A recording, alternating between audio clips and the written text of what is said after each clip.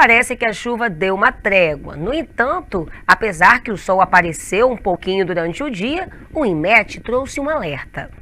E o alerta de mais chuvas no norte do estado foi reforçado na manhã dessa terça-feira com mais um boletim do IMET.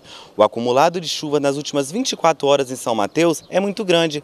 Foram monitorados mais de 100 milímetros. Em Conceição da Barra, choveu mais de 190 milímetros. Outros municípios como Nova Venécia, Pedro Canário, Pinheiros, Mucurici e Ponto Belo, as taxas ficaram acima de 50 milímetros.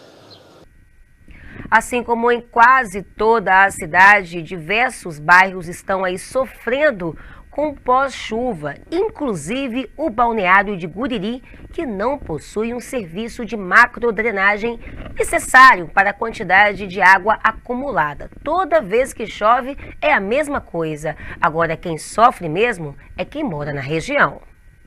Se fica difícil para passar pelas avenidas, Imagine atravessar a rua diante o acúmulo de água. Pedestres se arriscam para chegar ao destino. É bem ruim porque é uma coisa que é recorrente, não melhora, é uma situação que não melhora. Mesmo com a bomba aí, ela não dá quantidade e igual no meu caso, eu ainda sou gestante, então eu, eu tinha que evitar ao máximo ter contato com essa água.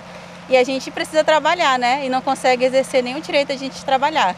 Então, assim, é bem ruim, é bem chato e é um problema que, assim, é de muitos anos e não se resolve.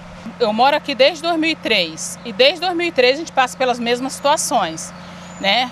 Chega é, é, verão, isso aqui fica tudo alagado, as pessoas não conseguem trabalhar, não pode trabalhar.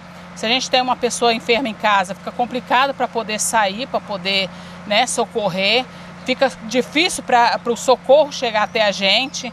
Então é muito complicado. A gente tem esperança que isso possa melhorar, né?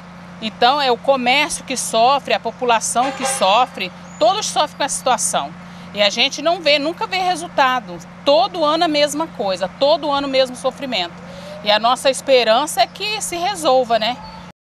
Bom, e por hoje é só. Esses foram os destaques de hoje. Volto com você no estúdio em Ares, Cláudio. Até amanhã.